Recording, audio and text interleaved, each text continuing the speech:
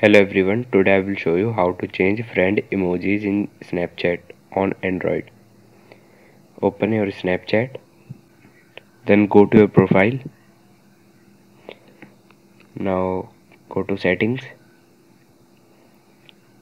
Now here in who can section, uh, you can see option of customize emojis. Click on that option.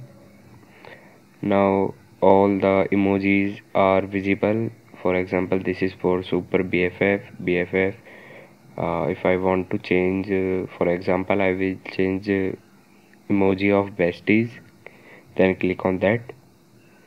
And uh, i have to select uh, emoji from them to replace that emoji.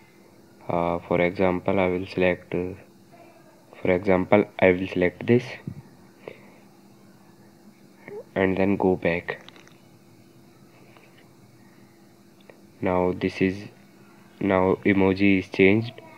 Now this is the emoji for besties. This is how you can change emojis. Thank you everyone